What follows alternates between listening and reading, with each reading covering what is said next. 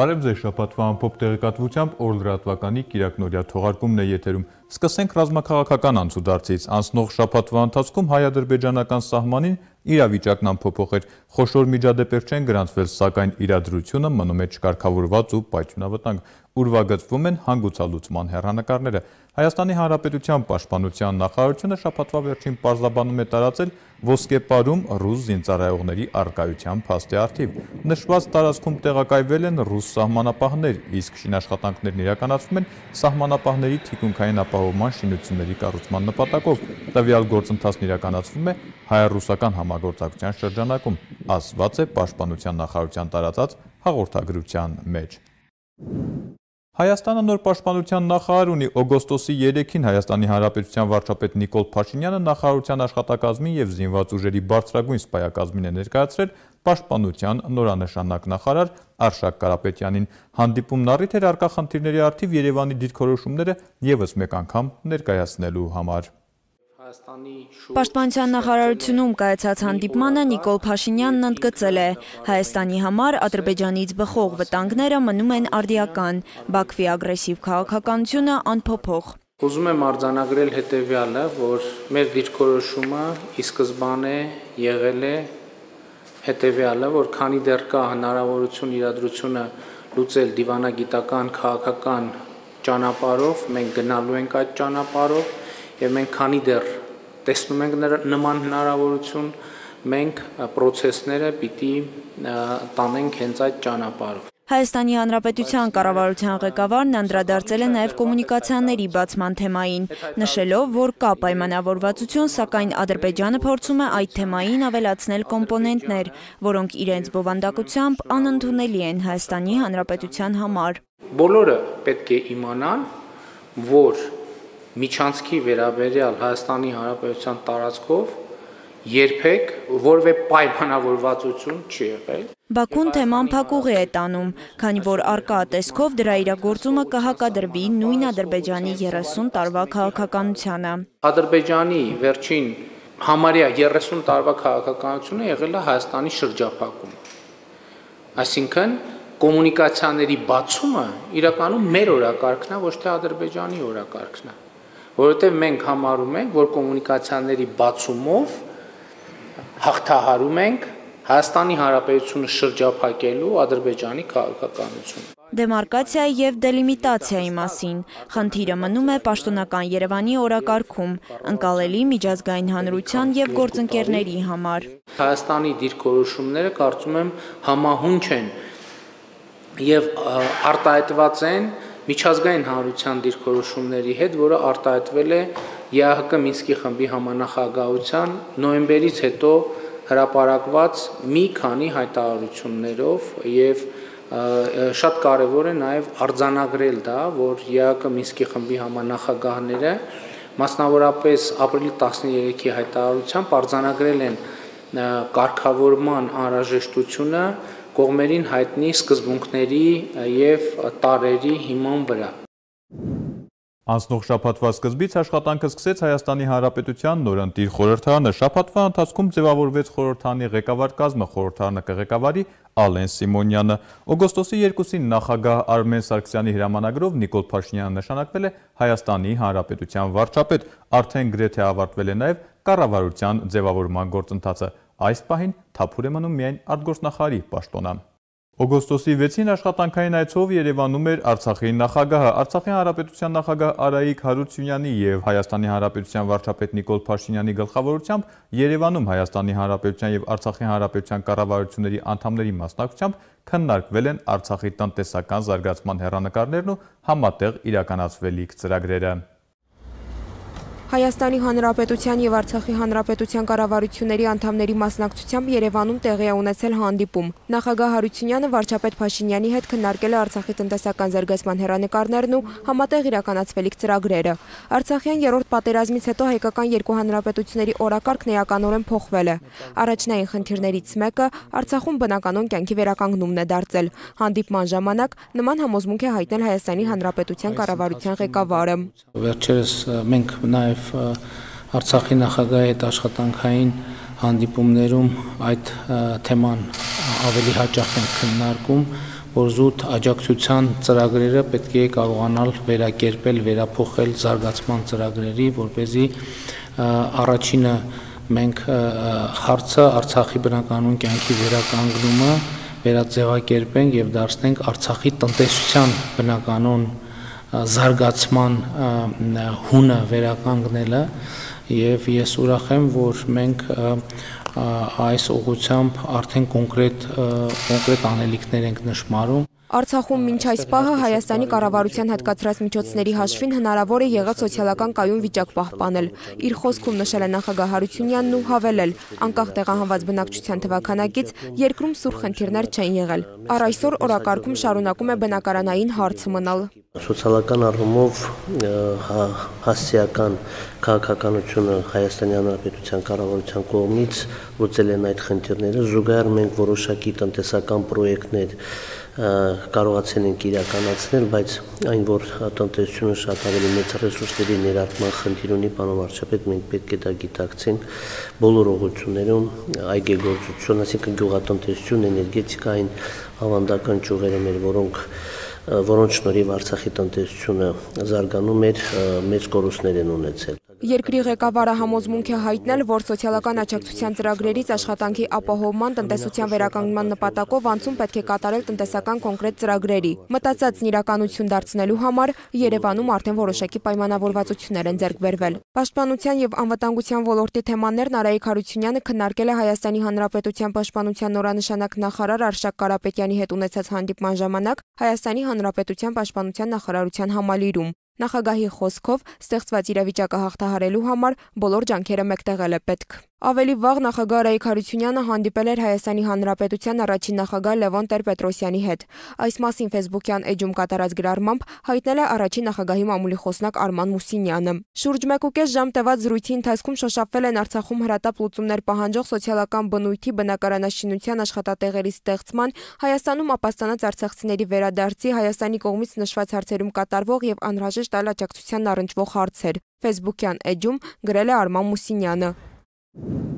Սոցիալ-տնտեսական թեմաները գերակշռել են ներհանրապետական անցուդարձում։ Երկուշաբթի օգոստոսի 2-ին նախագահ Արայիկ Հարությունյանը խորհրդակցություն է հրավիրել պետական վարկային քաղաքականությանն առնչվող հարցեր քննարկելու նպատակով։ Հարությունյանը նշել է, որ 2020 թվականի թուրք-ադրբեջանական ռազմական ագրեսիայից հետո էական խնդիրներ են ծագել բանկային ոլորտում։ Բանկերի կողմից բնակչությանը վարկեր չտրամադրելու բացը լրացնելու համար այս փուլում Fides հիպոթեկային ընկերություն ունիվերսալ վարկային կազմակերպությունը վարկավորման ծրագրեր է սկսելու որոշակի պետական սուբսիդավորմամբ։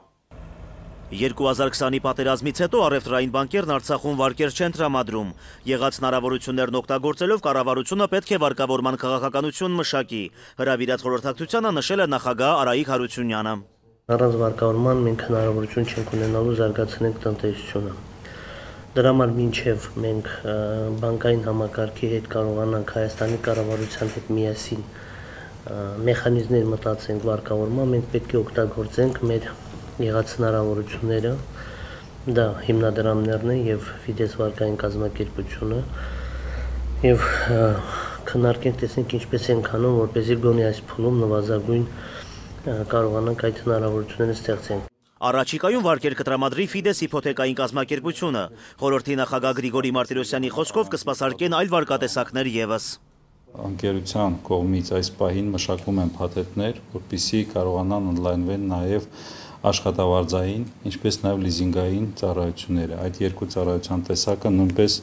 որpիսի հասանելի լինի մեր քաղաքացիների համար։ Մինչ այդ մասնաճյուղեր են բացում շրջաններում։ Քաղաքացիների համար պետական սուբսիդավորման մեխանիզմներ կգործեն նաև Fides հիփոթեկային կազմակերպության պարագայում։ Բիզնեսի վարկավորման նպատակով ու այդ նախապատրաստական աշխատանքները նույնպես ընթացքի մեջ Մարտունի մարտակերտում ի ժամանակում ենք բանկ ունենալու մասնաճյուղերը շինարարական աշխատանքներ են մեկնարկել, անձնակազմի հավաքագրման, վերապատրաստման աշխատանքներն նույնպես ընթացքի մեջ են։ Այո, միջև 3 ամիս մենք դեռ կունենանք արդեն Որը փորձեք ավելի շուտ։ Ես հասկանում եմ անձնակազմի պատրաստման հետ կապված խնդիրները, բայց ինչքան հնարավոր է ավելի արագ։ Վարկային միջոցներով մարդիկ պետք է նորից կարողանան շինարարություն անել, տուն նորոգել, գյուղատնտեսական եւ բիզնես ծրագրեր իրագործել, ասել է երկրի ղեկավարն ու հիշեցրել։ Սուբսիդավորման ծրագրերում քաղաքացիներին ուղղված աջակցության չափն ավելի մեծ պետք է լինի։ Նույն օրը նախագահի հրավիրած մեկ այլ խորհրդակցության ընթացքում քննարկվել են էներգետիկային վերաբերող թեմաները։ Պատերազմի արդյունքում այս ոլորտը լուրջ վնասներ է կրել։ Պատերազմից հետո սակայն չեն պակասել ճյուղից ունեցած ակնկալիքները։ Դրանք գոնե մասամբ բավարարելու համար օրակարգում տեղական արտադրության ավելացման անհրաժեշտությունն է։ Դրան ուղված առաջին քայլը կարվի շուտով։ Նախագահի խոսքով պատերազմի հետևանքով մեծ վնասներ է կրել նաև էներգետիկ ոլորտը։ Արցախում էլեկտրաէներգիայի դեֆիցիտ կա։ Օրակարգում էլեկտրաէներգիայի արտադրության ծավալներն ընդլայնելու ծրագրերն են։ Մենք այսօր պետք է սկսենք նոր խոշոր հիդրոէլեկտրոկայանի շինարարության աշխատանքը։ Ուզում եմ նշել, որ այն լինելու է բաց բաժնետիրական ընկերություն։ Այս պրոյեկտը հետ պատերազմյան Ինչու՞ չէ նաև միջև պատերազմել ամենախոշոր ներդրումային պրոյեկտն է։ Ըստ երկրի ղեկավարի սա շոշափելի բաժին է ապահովելու տեղական արտադրության մեջ։ Գետավան էներգիա ընկերության տնօրեն Ժան Հովանիսյանի խոսքով առաջին քայլը Մարտակերտի շրջանի Գետավան համայնքի տարածքում 17.5 մեգավատ հզորությամբ եւ մոտ 90 միլիոն կիլովատ ժամիջին տարեկան արտադրողականությամբ Գետավան 1 հիդրոէլեկտրոկայանի կառուցումն է։ Հիդրոէլեկտրակայանի կառուցման նպատակով ստեղծվել է նոր փակ բաժնետերական ընկերություն, Գետավան էներգի փակ բաժնետերական ընկերություն, որի միակ հիմնադիրն է հանդիսանում Արցախի ներդրումային հիմնադրամը։ Ընկերությունը հետագայում պլանավորում է վերակազմավորվել բաց բաժնետերական ընկերության եւ իրականացնել բաժնետոմսերի թողարկում եւ տեղաբաշխում։ Բոլոր ցանկացողները հնարավորություն կունենան մասնակցել այդ ծրագրին եւ իրանց ներդրում ունենալ ինչպես մեր հանրապետության տնտեսության զարգացման ծրագրին, այնպես էլ կատարել շահավետ ներդրումներ։ Իրականացվող ծրագիրը ներդաշնակորեն կզարգացնի տնտեսության այլ ճյուղեր, կստեղծվեն նոր աշխատատեղեր, որն իր հերթին կնպաստի հայրենադարձությանը եւ կլուծի սոցիալ-տնտեսական մի շարք հիմնախնդիրներ։ Արայք Հարությունյանը մի շարք հանրություններ է տվել խորհրդակցության մասնակիցներին եւ հորդորել ամենայն պատասխանատվությամբ մոտենալ այդ նախագծի իրագործմանը։ Մասնակիցներն իրենց հերթին հանդես են եկել առաջարկներով եւ պարզաբանումներով։ Մեկ օր անց օգոստոսի 3-ին այս եւ այլ ծրագրերի մասին նախագահ Արայիկ Հարությունյանը խոսել է հենց Մարտակերտի շրջանում աշխատանքային այցի ընթացքում։ Նախագահ Հարությունյանը ներկայացրել է Մարտակերտ քաղաքի զարգացման տեսլականը, նշելով, որ առաջիկայում Մարտակերտը պետք է դառնա հանրապետության երկրորդ խոշոր բնակավայրը։ Հանրապետության նախագահի աշխատանքային այցի առաջին կանգառը մաղավուզում էր։ Արայիկ Հարությունյանը հարգանքի տուրք է մատուցել հուշահամալիրում, ծանոթացել գյուղը մայրուղուն կապող 1.6 կիլոմետրանոց ասֆալտապատ ճանապարհի որակին։ Ծրագիրն իրագործվել է բոլորովին վերջերս։ Ասֆալտից հետո կատարված է սալապատում, որը կշարունակվի նույնպես այդ խաչմերուկից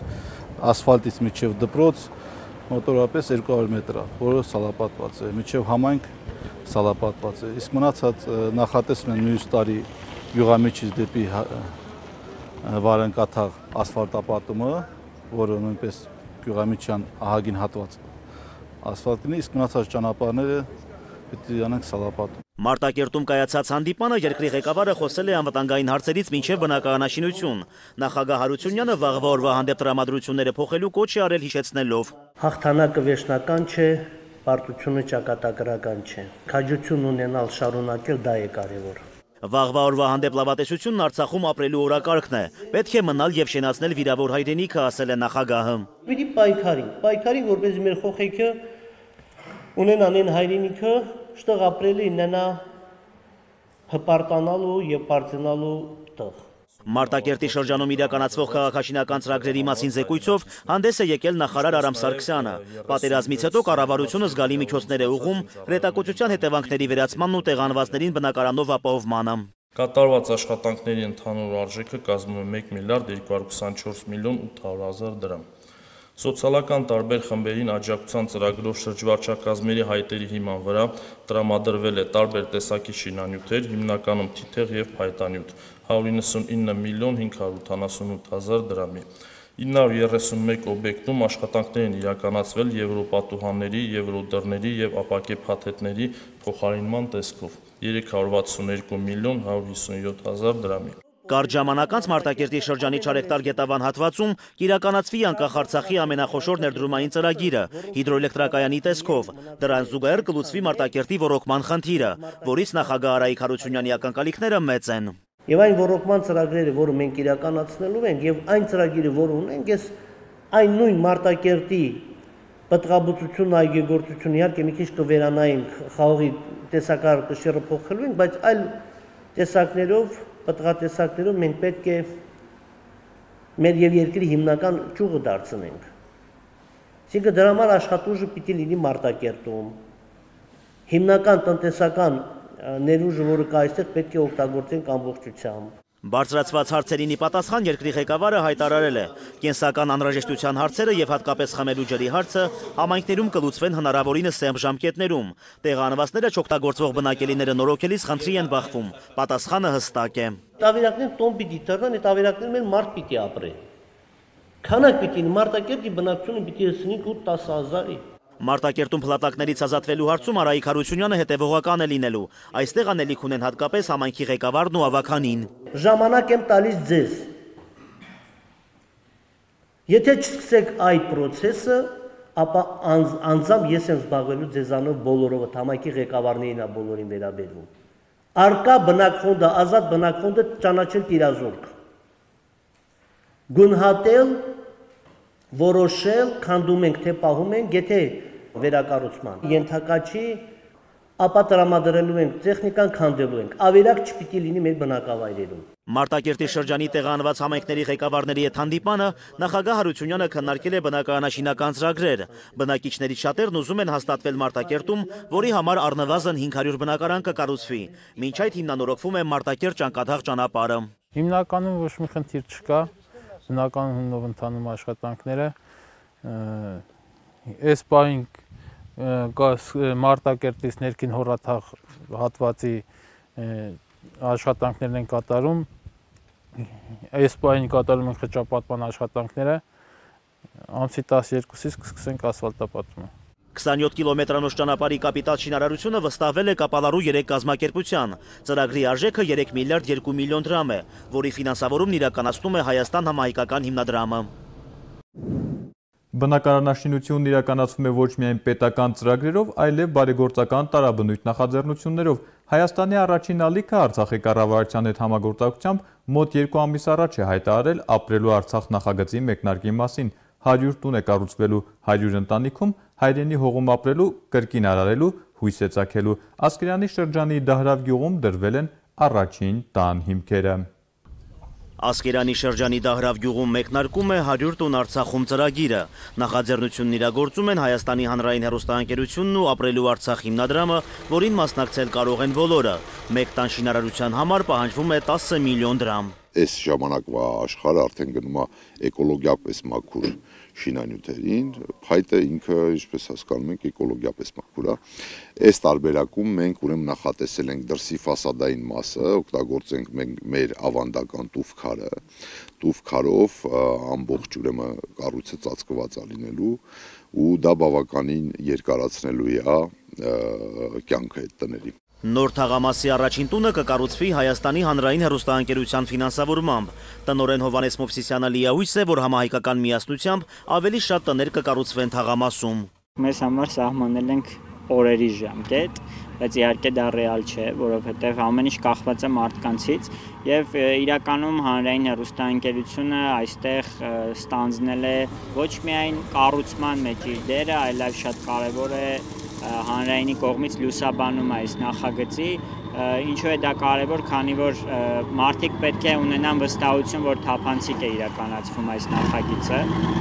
եւ հանրայինը հենց թափանցիկ ցույց է տալու եթերում թե ինչպես է ծախսվում յուրաքանչյուր գումարը, որը հանգանակվել է այս նախագծին ապրելու Արցախի հիմնադրամին։ Թաղամասի առաջին տան հիմքերը լցրել են առաջին ալիքի հաղորդավարներն ու լրագրողները։ Լուրերի մեկնաբան եւ լրագրող Լիլի Դանիելյանը մեկ ցանկություն ունի, որ նոր տներում շատ մանուկներ ծնվեն համոզված եմ ավելի քան, որ այս ֆանտաստիկ միջավայրում ամենաշատ եւ ամենաբարձր ճիչերն են մանուկների լսվելու, որովհետեւ հենց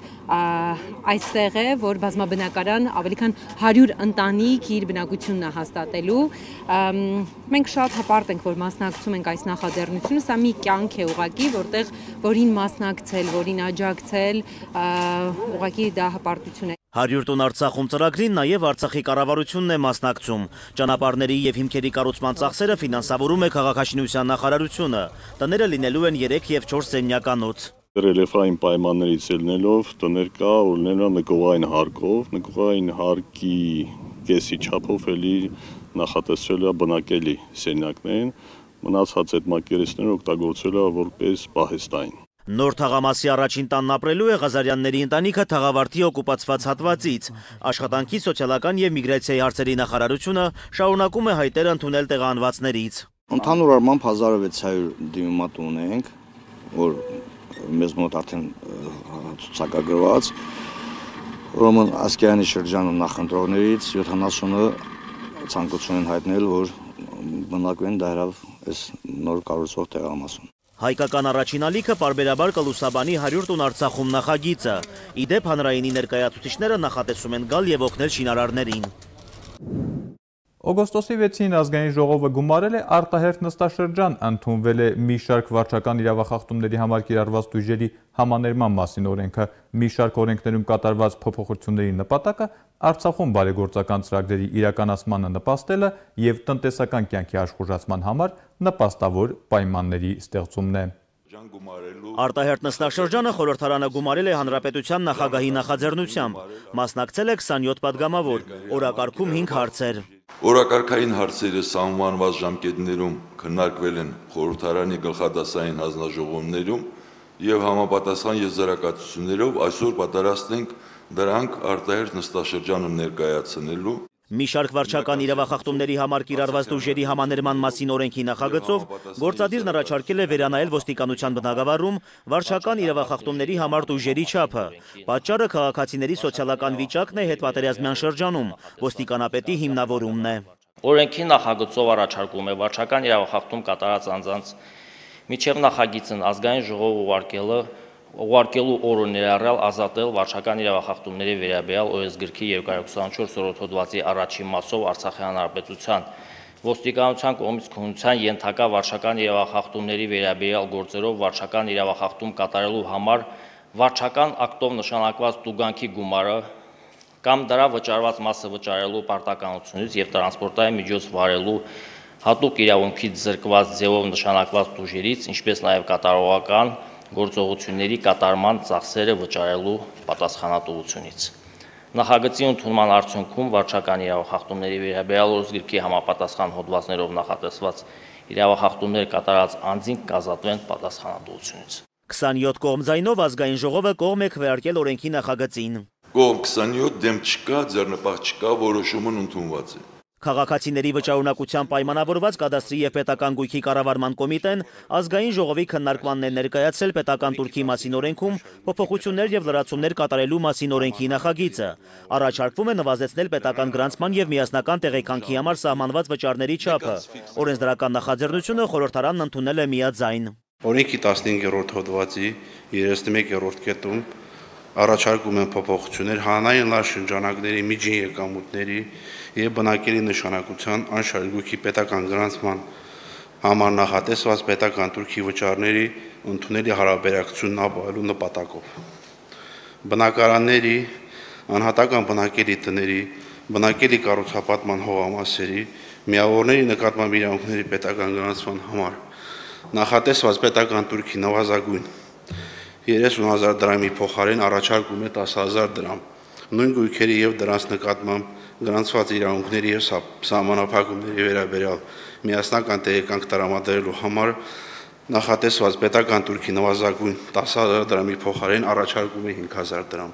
Լրացնելով ավելացված արժեքի հարկի մասին օրենքը աշխատանքի սոցիալական եւ միգրացիայի հարցերի նախարարությունն առաջարկել է բարեգործական որակել Հայաստան համահայկական հիմնադրամի աշխատանքները, ազատելով ավելացված արժեքի հարկից առաջարկում է ավելացված արժեքի հարկի մասին Արցախի հանրապետության օրենքով սահմանել, որ Հայաստան համահայկական հիմնադրամի միջոցների հաշվին ապրանքների մատակարարումը եւ ծառայությունների մատուցումը, այդ թվում աշխատանքների կատարումը ազատվում է ավելացված արժեքի հարկից։ Նույն հարկատեսակից ազատելու առաջարկով է հանդես եկել էկոնոմիկայի եւ գյուղատնտեսության նախարարը։ Այս դեպքում ավելացված արժեքի հարկ չեն մուծելու երկրից արտադրանք արտահանողները։ Օրինագիծն ընդունվել է 27 կողմ ձայնով։ Նախագծի ընդունումը հնարավորություն կընձեռի էականորեն նվազեցնել ահա տարածքից արտահանում իրականացնող կազմակերպությունների հարկային բեռը եւ հետեւաբար կապահովի երկրից արտահանման ծավալների վրա դրական անդրադարձ։ Զինվորական ծառայության եւ զինծառայողի կարգավիճակի մասին օրենքի լրամշակված տարբերակով այսուհետև մարտական գործողությունների մասնակցի կարգավիճակի տրման հարցը կքննի ոչ թե միջգերատեսչական, այլ հանրապետական հանձնաժողովը, որի որոշումն իմպերատիվ բնույթի է։ Օրենքի նախագծի ընդունման արդյունքում այլևս հանրապետական հանձնաժողովի կողմից տրվող տեղեկանքը պարտադիր հիմք կդառնա Արցախի հանրապետության պաշտպանությանը մասնակցած անձանց մարտական գործողությունների մասնակցի կարգավիճակ տալու հարցում եւ կկարգավորվեն մարտական գործողություններին քաղաքացիների մասնակցությանն առնչվող տարաբնույթ այլ հարցեր։ 27 կողմ ձայնով ազգային ժողովը կողմ է քվեարկել օրենքի նախագծին։ Ընդմիջումից հետո ազգային ժողովը երկրորդ ընթերցմամբ քննարկել է մի շարք վարչական իրավախախտումների համար կիրառված ուժերի համաներման մասին օրենքի նախագիծը։ Այն կրկին արժանացել է խորհրդարանի հավանությանը արդեն երկրորդ ընթերցմամբ։ Այս օրերին շարունակվում է հացահատկանիների բերքահավաքը զուգահեռ գյուղ ոլորտի պատասխանատուներն են գույքագրում ունեցածը ըստ այդն վերանայում գործող ծրագրերը առաջարկում նորերը գյուղատնտեսական նոր տարեշրջանին ընթരാճ այս թեմաները առավել արդիական են։ Օրկիրակնորիայի տաղավարում զրուցելու ենք էկոնոմիկայի եւ գյուղատնտեսության նախարարի տեղակալ Վիլեն Ավետիսյանի հետ։ Բարև ձեզ, պարոն Ավետիսյան։ Բարև ձեզ։ Շնորհակալություն զրույցի հրավերն ընդունելու համար։ Քանի որ այս օրերին միջազգային լրահոսի առաջին հորիզոնականում հարդեհների թեման է, առաջարկում եմ հենց այդ թեմայից էլ սկսենք։ Մեզ մոտ ինչ իրավիճակ ունենք։ Արցախի հանրապետության գյուղատնտեսական նշանակության տարածքներում այս տարի հնարավոր է եղել խուսափել խոշոր հրդեհներից հասկավոր հացահատիկայի մշակաբույսերի ցանկատարածքներում ունեցել եք ընդամենը 4 դեպք հրդեհի, որն էլ մարտունու շրջանում է եղել, ընդհանուր առմամբ ընդհանուր առմամբ այրվել է 8.5 հեկտար ցանկատարածքներ, որից 1.7 հեկտարը ծորեն եւ 6.8 հեկտարը գարի։ Իհարկե ունեցել ենք նաև որոշակի տարածքներ չոր խոտածածկ եւ արոտավայրեր, բայց դրանք էլ մեծ տարածքների վրա չեն եղել։ Նման արդյունավետ արդյունավետ եւ բարդ աշխատանքը հնարավոր է եղել իրականացնել համատեղ աշխատանքի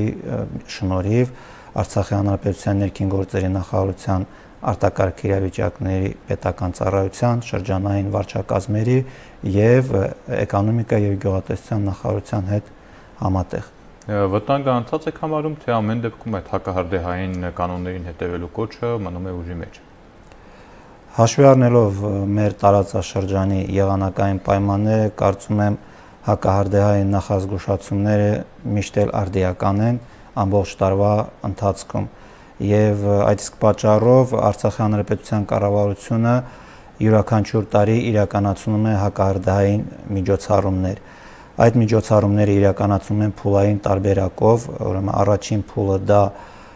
քիմիական պայքարն է, կենտրոնացված քիմիական պայքարն է մոլախոտային բուսականության դեմ, որը իրականացվում է հիմնականում մարտ ամսվա վերջին կամ ապրիլ ամսվա սկզբին, իսկ հաջորդիվ դա արդեն ֆինանսական միջոցների տրամադրումն է շրջվարչակազմերին եւ արտակարգ իրավիճակների պետական ծառայությանը, որի շնորհիվ իրենք տեղակայում են հենակետեր, սահմանում են շուրջօրյա հերթապահություն եւ հրդեհավտանգ տարածքներում իրականացնում են հերկի աշխատանքներ։ Հացահատկի բերքահավաքի մասին խոսենք,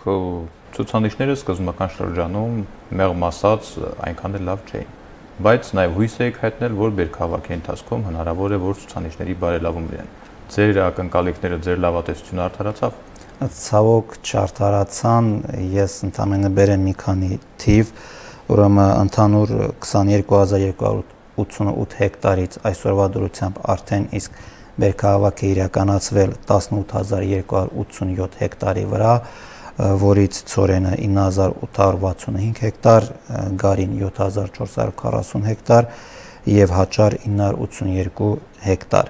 Համախառը բերքը կազմել է 12350 8 տոննա, որից ծորենը 8296 տոննա, գարին 3429 եւ հաճարը 633 տոննա։ 1 հեկտարի միջին բերքատվությունը կազմել է 6.8 ցենտներ, իսկ առանձին ըստ մշակաբույսերի ծորենի դեպքում 8.4, գարու դեպքում 4.6 ցենտներ եւ հաճարի դեպքում 6.5 ցենտներ 1 հեկտարից։ Ինչպես տեսնում եք, թվերը բավականին ցածր են։ Իհարկե կան տարբեր պատճառներ, բայց ես կառանձնացնեմ հիմնական երկու պատճառ, դա ուշ կատարված ցանքսն է, որի հիմնական պատճառը բոլորս գիտենք, դա պատերազմական գործողություններն էին եւ գարնանային ամիսներին, մասնավորապես ապրիլ եւ մայիս ամիսներին սակավ տեղումները եւ ջերմաստիճանային բարձր ֆոնը այդ երկու հիմնական գործոնը նպաստել են դրան, որ ունեցել ենք ցածր բերքատվություն։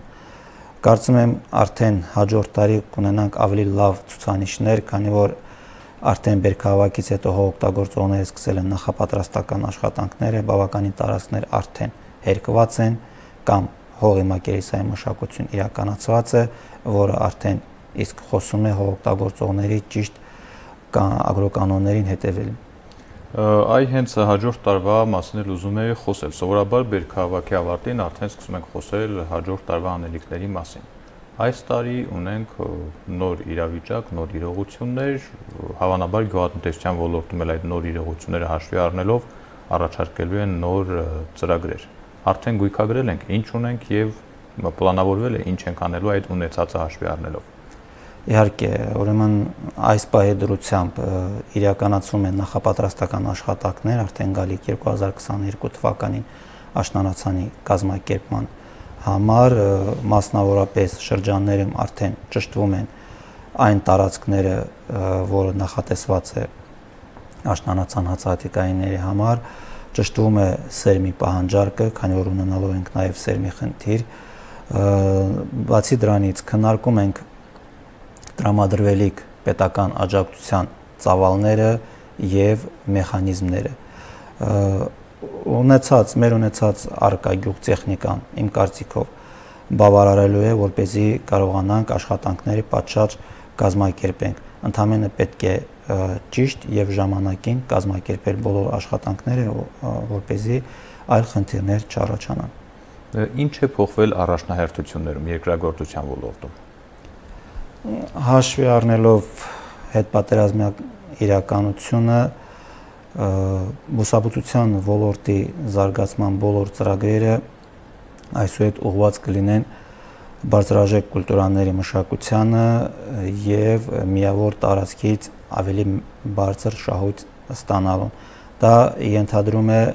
արդեն ինտենսիվ այգիների հիմնադրում եւ օրինակ ջերմոցային տնտեսությունների զարգացում եւ ավելացում։ Արդեն կան ծրագրերը, թե սա դեռ բարի ցանկությունների ոլորտից է։ Ուրեմն մենք ուսաբուծության ոլորտում տարվա կտրվածքով բոլոր ծրագրի միջոցառումները, աջակցության միջոցառումները իրականացում են ուսաբուծության համալիր զարգացման ծրագրի շրջանակներում։ Այդ ծրագրի մեջ կան մի շարք միջոցառումներ, դրանք են ուրեմն աջակցություն այգեգործությամբ, ծխախոտագործությամբ զբաղվող հողօգտագործողներին, բանջարբոստանային կուլտուրաների մշակությամբ զբաղվող հողօգտագործողներին, ջերմոցային տնտեսությամբ զբաղվող հողօգտագործողներին, ինչպես նաև աջակցություն է տրամադրում կարկտապաշտպան ցանցերի տեղադրման համար։ Այդ ծրագրի ընթացքում իրականացման ընթացքում նաև փոփոխություններ են լինում։ Նշեմ, որ արդեն ունենք եւս հերթական պատրաստված փոփոխությունների նախագիծը, որոշման նախագիծը, որը ներկայացված է կառավարության հաստատմանը։ Այդ ծրագրում մենք նաև հաշվի ենք առել այս իրավիճակը, առաջնահերթությունները, ինչպես արդեն նշել եմ, փոփոխություններ ենք իրականացնելու այգեգործության միջոցառման մեջ եւ ջերմոցային տնտեսությամբ զբաղվողներին աջակցության տրամադրման միջոցառման մեջ։ Նպատակը ո՞րն է նպատակը ուրեմն այգեգործության համար տրամադրվող աջակցության աջակցությունը դա տնկիների արժեքի փոխհատուցումն է այդ տնկիների փոխհատուցման ենթակա տնկիների ցանկում կային ոչ բոլոր պտղատեսակներ ներկայացված, որը արդեն արդիական է եւ մենք լրացումներ են կատարել նաեւ այդ ցանկում։ Իսկ ջերմատնային տնտեսությամբ զբաղվողների համար, եթե հիշում եք, մեր գործող ծրագիրը ենթադրում էր փաստացի գործող ջերմատներին աջակցություն 1 քառակուսի մետրի դիմաց դա ջերոցողի համար 600 դրամներ, չջերոցողի համար 300 դրամ։ Մենք արդեն նոր միջոցառում ենք մտցրել, որը ենթադրում է արդեն նոր ջերմատան կառուցման համար աջակցություն։ Այս միջոցառումը բաղկացած է երկու մասից։ Առաջին մասը դա ավանդական ջերմատան կառուցումն է, այսինքն կոնստրուկցիոն կառուցումը, որի համար մենք տրամադրելու ենք մինչև 8000 դրամ 1 քառակուսի մետրի համար եւ անհատույց անհատույց անհատույց կտրամադրվի եւ երկրորդ մասը դա նորարարական տեխնոլոգիաներով հագեցված ժամանակակից ջերմատան կառուցման համար, որի դեպքում նախատեսում ենք արդեն 22000 դրամ 1 քառակուսի մետրի դիմաց այս թվերը պատահական չեն, աջակցության չափի մասին է խոսքը, մենք իրականացրել ենք համապատասխան վերլուծություններ, ուսումնասիրություններ եւ մեր կարծիքով դա բավարար գումար է, որ เป զի տնտեսվարողը կամ օգտագործողը կարողանա իրականացնել իր ծրագիրը։ Կան սահմանափակումներ այս կամ այն ծրագրից օգտվելու հարցում կոնկրետ բուսաբուծության ոլորտում իհարկե կան սահմանափակումներ, նշեմ Ուրեմն նախ նվազագույն սահմանափակումներ կան 0.5 հեկտարից սկսած, օրինակ այգեգործության դեպքում 0.5 հեկտարից սկսած մինչև 10 հեկտար առավելագույն սահմանափակումն է, մնացած դաշտային կուլտուրաների մշակության դեպքում ելի նվազագույնը 0.5 հեկտար, բայց առավելագույնը չկա։ Բանջարեղենի, բանջարբոստանային մշակաբույսերի դեպքում ուրեմն նախկին գործող ծրագրում ուրեմն ունեցել ենք ելի 0.5 հեկտար տարածք, մեկ նվազագույն նվազագույնը մեկ ամբողջական հողակտորի մասին է խոսքը, սակայն այս փոփոխությունների փաթեթում մենք նաև այդ շեմն ենք նվազեցրել մինչև 2500 քառակուսի մետրը։ Սա նույնպես ժամանակի պահանջ էր, քանի որ մեր վարելահողերի կորուստների մեջ ունենք նաև բավականին մեծ տարածքներ, որը ռոռոկվող տարածքներ են եղել, Հիմա տարածքների կրճատման զուգահեռ նաև մենք նվազեցրել ենք այդ շեմը, որպեսզի ավելի շատ հողօգտագործողներ կարողանան զբաղվել բանջարբոստանային մշակույթի մշակությամբ եւ օգտվել պետական աջակցության ծրագրերից։ Մեկ սահմանափակում էլ կա նաև էլի այգեգործության ոլորտում, դա վերաբերվում է ռոռոկ մանջրի արկայությանը։ Այս դեպքում, եթե հողատարածքը գտնվում է ծոյ մակարդակից մինչև 500 մետր բարձրության վրա, ապա այդ դեպքում ռոռոկման ջուրը պարտադիր է։ Իսկ 500 մետրից բարձր ռոռոկման ջուրը պարտադիր պայման չէ ծրագրից օգտվելու համար, սակայն ցանկալի է հաշվի առնելով մեր եղանակային պայմանները։ Այ ռոռոկման մասին նշեցիք, բավական մեծ տարածքներ կորցրեցինք հենց ռոռոկովի հողերից, այսօր կարծես քայլեր են արվում ռոռոկվող հողերը անդլայնելու նորից։ Նորություններ կլինեն առաջիկայում ծրագրեր կան համապատասխան տարբեր ծրագրեր են տարբեր ուղղություններով աշխարհագրական դիրքերի մասին է խոսքս եւ եթե բոլոր ծրագրերը կարողանանք իրականացնել կարծում եմ արդեն կունենանք եթե կվերական եթե չկվերականգնենք այն ծավալները ռոռոկման տարածքները ապա բավականին կբարելավ կբարելավենք այդ թվերը եւ արդեն կարողանանք խոսենք եւ ինտենսիվ այգիների հիմնադրման եւ բարձրաժեք կուլտուրաների մշակության տարածքների ավելացման մասին վերադառնանք աջակցության ծրագրերին արդյոք առանձին մոտեցում են նախատեսում տեղահանված բնակավայրերի բնակիչների դեպքում թե նրանք եւս պետական աջակցության գործող եւ ձեր կողմից ներկայացված նախատեսվող ծրագրերից կօգտվեն ընդհանուր հիմունքներով Արցախի հանրապետության էկոնոմիկայի եւ գյուղատնտեսության նախարարության կողմից իրականացվող բոլոր պետական աջակցության ծրագրերի նպատակն է հանրապետության տարածքում արտադրական նշանակության տարածքների ավելացման եւ չի ենթադրում առանձին սոցիալական խմբերին աջակցության տրամադրումը սակայն պետք է նշեմ որ մեր մասնագետները անմիջապես եւ սերտ համագործակցության մեջ են գտնվում այն բոլոր պետական եւ ոչ պետական կառույցների հետ, որոնք գյուղատնտեսության ոլորտում իրականացնում են տարբեր սոցիալական ծրագրեր։ Դա եւ տարածքային կառավարման նախարարությունն է, եւ սոցիալ նախարարությունն է, եւ Կարմիր խաչի Կարմիր խաչն է, մնացած բոլոր գազམ་ակերպությունների հետ համագործակցության մեջ ենք։ Շնորհակալություն, պարոն Ավետիսյան, շնորհակալություն հետաքրքիր բարձաբանումների համար։ Շնորհակալություն հայ ձեզ։ Հիշեցնեմ, որ օր Կիրակնորիայի հյուրն էր էկոնոմիկայի եւ գյուղատնտեսության նախարարի տեղակալ Վիլեն Ավետիսյանը։ Հաջորդիվ եւս մի քանի թեմա, որ առանձնացրել ենք անցնող շաբաթվա լրահոսից։ Նոր ուսումնականին ընթառաջ կրթական ոլորտի թեմաներն են օրակարգում շաբաթվա վերջին այս թեմայով խորհրդակցություն է հրավիրել պետական նախարար Արտակ Բեգլարյանը, քննարկվել են հիմնականում մայրաքաղաքին վերաբերող խնդիրները, որքանով էին արդյունավետ նախորդ տարի կիրառված նորարարությունները, ինչ կփոխվի այս տարի։ Քննարկման հիմնական տրամաբանությունը այս ուղղվածությունն ուներ։ Անհրաժեշտ է գնահատել, թե նախորդ տարի ներդրված նորություններն ինչ դժվարություններ են ունեցել եւ ինչ խնդիրներ են լուծել։ Նոր ուսումնականին ընթരാճ կրթության ոլորտի պատասխանատուների մասնակցությամբ հրավիրված խորհրդակցությանը պետական նախարարի գլխավոր հորդորն էր։ Այդ գնահատականներից են կախված լինելու համակարգում հետագա նախաձեռնությունները։ Մեզ համար էական է իհարկե եւ կրթության իրավունքը ապահովելը եւ որոշակի կարգապահություն ապահովելը, որը կերաշխավորի նաև արդարացիություն, մատչելիություն համակարգում։ Մյուս կողմից անընդունելի է, որ կրթության իրավունքի կամ արդարացիության սկզբունքի իրացման տակ չարաշահումներ կլինեն իրավունքի հաշվին կամ մատչելիության հաշվին, արդարացիության հաշվին։ Հասարակության մեջ ծնողների մոտ ձևավորված կարծիք կա, որ որոշ դպրոցներում ուսումնական գործընթացն ավելի բարձր մակարդակով է կազմակերպվում։ Այդ է պատճառը, որ մայրաքաղաքի որոշ դպրոցներում չհիմնավորված կուտակումներ կային, իսկ որոշներում նույնիսկ դատարկ դասասենյակներ։ Դա բացառելու համար նախորդ տարի մայրաքաղաքի դպրոցներում ընդունելությունը կազմակերպվել է ըստ բնակության վայրի։ Նախարար Լուսինե Ղարախանյանը վստահեցրել է, որ մայրաքաղաքի բոլոր դպրոցներում կրթության նույն մակարդակն է եւ նշել, որ ներդրված համակարգը գործել է արդյունավետ ու հնարավորություն է տվել լուծել նախկինում առաջացած մի շարք խնդիրներ։ Կար շատ արատավոր ասեմ, բացասական, ավելի ճիշտ ասեմ, մեղմ հնչի տենդենց կուտակումներ էին լինում համար 1, համար 7 մի շարք դպրոցներում եւ ստացվում էր այնպես, որ Զորգե փողոցի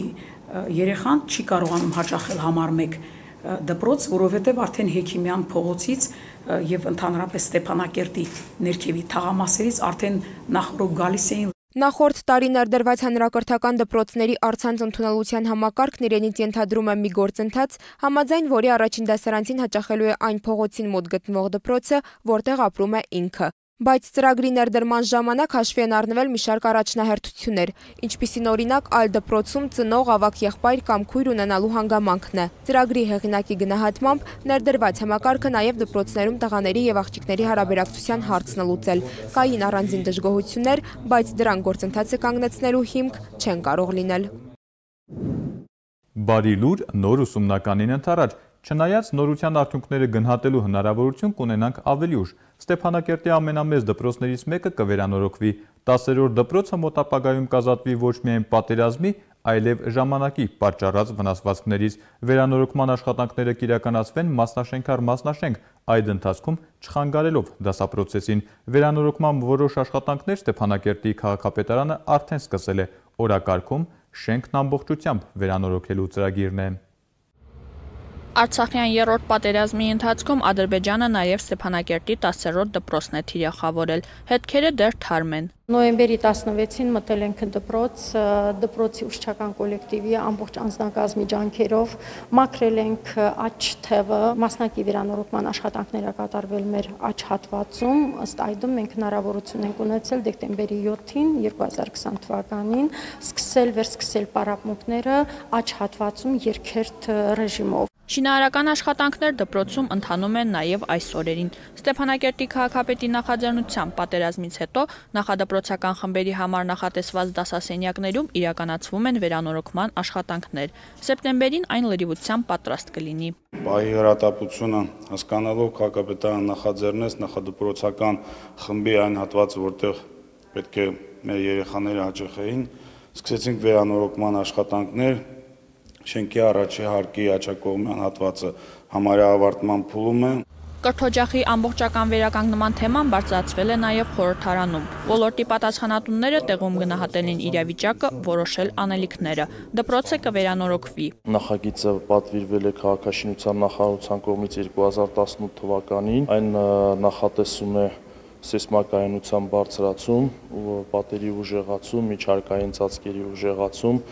Առաջի փուլով նախատեսում է գլխավոր մասնաշենքի վերակառուցումը, որը